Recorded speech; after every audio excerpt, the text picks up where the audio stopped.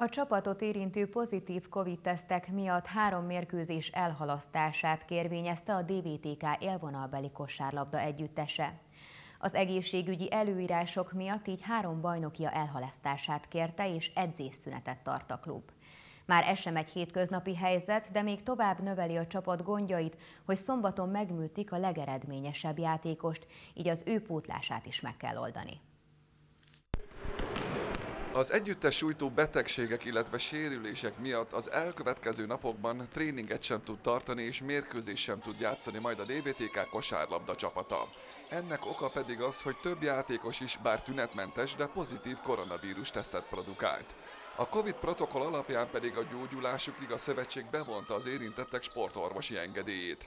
Ennek okán pedig a klubvezetés a Sziget-Szent Miklós, a Vasas és a Győre elleni találkozó elhalasztását kérte a Kosárlabda Szövetségtől. Mivel öten maradtak összesen csapatból, ezért úgy határozott a, a szakmai stáb, hogy az egyébként vállalatszünetre tervezett picit nagyobb pihenőidőt azt korábban adják oda a játékosoknak.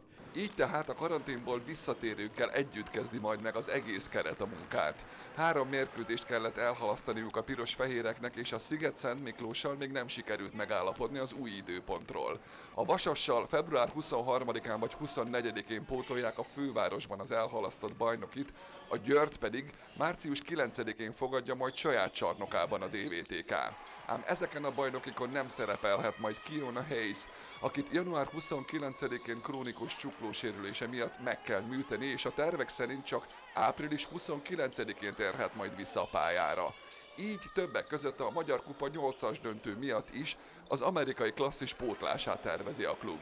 Kifejezetten posztra és kifejezetten úgy szeretnénk eh, szerződtetni eh, új játékost, hogy az valóban segítség legyen, és közben ne veszítsünk el meglévő embereinket, mert le kell ültetni a padra, amiatt, hogy hogy most ketten pont ugyanazt játszák. A játékengedély kérésének utolsó időpontja február 25-e, így most a klub versenyt fut az idővel, hogy a rendkívül pontarú és amerikai játékost átmenetileg pótolni tudja.